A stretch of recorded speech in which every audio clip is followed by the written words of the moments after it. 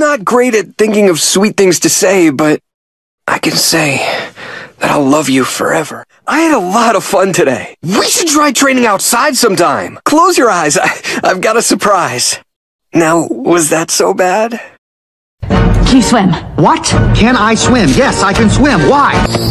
All right, you know what, you're milking it. Besides, I think we got it. I think we got it. We got it up there. Thank you, Yakety Yak. You laid it all out beautifully. It's called a hustle, sweetheart.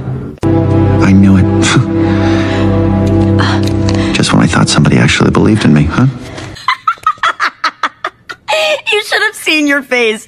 You were like, ah, no, betrayal. Why are you looking at me like that? Wait. No. I know what this is about. Ugh, I knew you'd be weird about me letting you escape. I told you it's not because I like you. Sorry! You were freaking out and it was freaking me out! A town that hates princesses? Should I buy property here? Is what I would have said before I joined you. Go team. I'm sorry. I got angry. It's something I'm working on.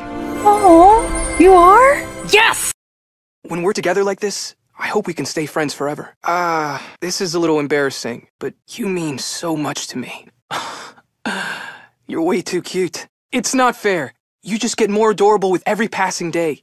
Please don't. You're gonna tease a guy to death. I'm the only one who can handle your teasing, Angel. Anyone else? Oh, they'd be goners. How do you want me to say it? Oh, like this? I'm attracted to you. What? No. Give me one more chance. We both know you like my humor. Come on, Angel. Let's do this one more time.